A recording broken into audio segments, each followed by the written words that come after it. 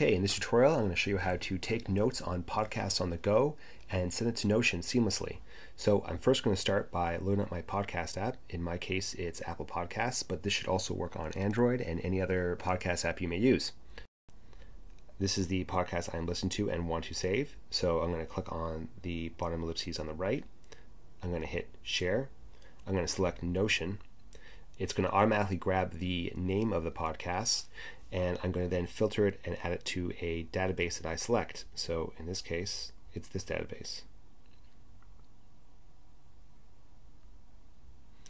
Now that I've saved it, give it a second, hit Notion, and select Podcast Notes.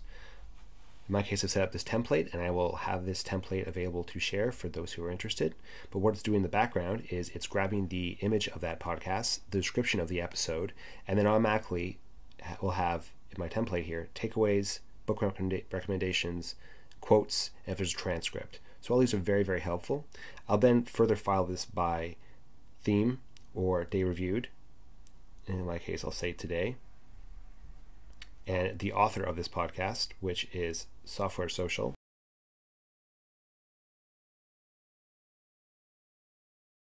And voila, that's it.